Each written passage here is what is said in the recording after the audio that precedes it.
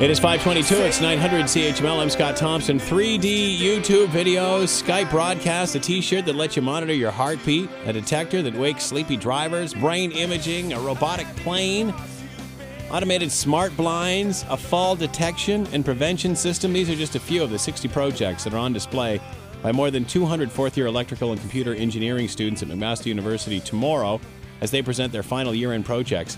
Everyone at MAC from the community is invited to view these projects. The event is being held at CIBC Hall, third floor, McMaster University Center, from 9 a.m. to 12 noon and then 1 to 4. To tell us more about this, Steve uh, Hranilovic is with us, and he is a professor of electrical and computer engineering, and he's on the line with us now. Good afternoon, Steve. How are you today?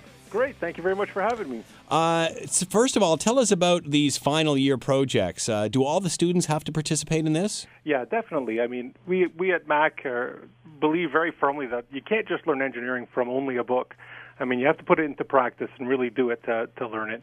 And, you know, on display will be some examples of that philosophy from our electrical, computer, and biomedical engineering students. And how long have these students been working on these? Eight months. So this is a full year course from September, and they finish this week. So what's the criteria for these projects? Is the sky the limit? Can they do anything they want? What's the what are the uh, boundaries?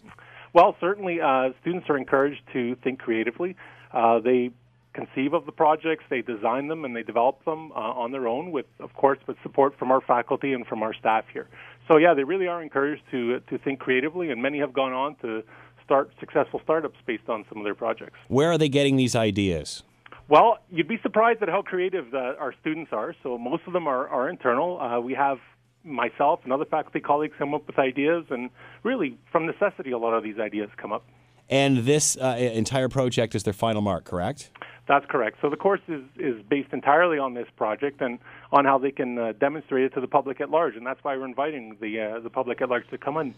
A lot of pressure for the student, though, isn't it? When you think about it, Steve, because uh, you know, however many years they've been in the program, now all of a sudden it all comes down to one thing, and here's what you've learned, and, and, and here's where you hope to take this. Right, and you know what? It's it's really a nice simulation of what engineering really is. It requires you to put together uh, knowledge from a lot of different areas and to produce some interesting technology at the end of the day. And all of our students are able to produce some really exciting projects, so uh, it's very exciting. You touched on this before. Uh, this has resulted in a springboard into uh, entrepreneurship or perhaps a job offer later down the road? Most definitely. Uh, you know, a number of groups have actually gone off and started successful ventures afterwards, started successful firms. Uh, others uh, are more interested in research type applications and then continue this on as a research type uh, of work. And others, even if they don't continue it, get invaluable experience for industry. So you know, eh, not that we would all have this sort of vision when we when we start university, but theoretically, you could come in with an idea and then spend your years uh, studying this, and then come out with your final business plan, couldn't you? Certainly. I mean, I mean, the idea will evolve, and, and as you gain more information and more knowledge about the area, uh, your your strength in the area will will evolve. But of course, yeah, you're right. It's possible indeed. Give us some examples of some of these projects in the past that uh, you know have enlightened you. Uh, 3D YouTube videos. I'm guessing we're seeing a lot of uh, uh, uh personal devices, a, a lot of uh, of this sort of thing that the youth are involved in today. Yeah, I think you know there, there's a popular film called Avatar recently, which I think thrust 3D onto the onto the public limelight. But yeah, we have a group which has built a 3D camera um, which can image in 3D, and they produce a 3D display. You have to put on some special glasses, but you can see the the resulting field in 3D.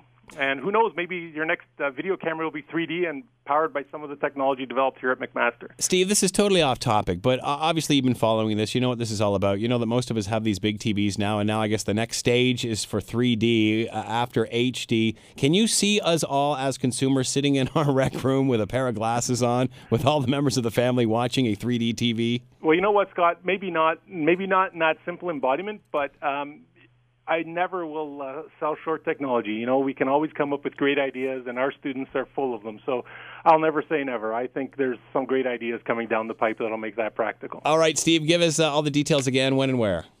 So tomorrow, uh, everyone's invited between 9 and noon and 1 and 4 uh, at McMaster University Student Center on the campus of McMaster University on the third floor in CIBC Hall.